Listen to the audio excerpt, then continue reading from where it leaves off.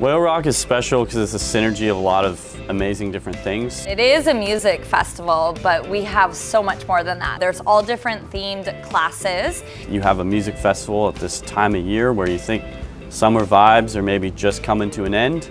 And then you get this music festival that's local. You get to see a bunch of awesome bands. It's almost the kind of thing that you roll up to and you can't believe, hey, this is right here in San Luis Obispo County. You show up and see where the adventure takes you. Whale Rock just brings people together through music, art, yoga, people of all ages. It just seems so communal based, such a community atmosphere between the vendors and the artists who come and showcase, the yoga instructors, silent discos, things for everybody. There's an awesome kids play area.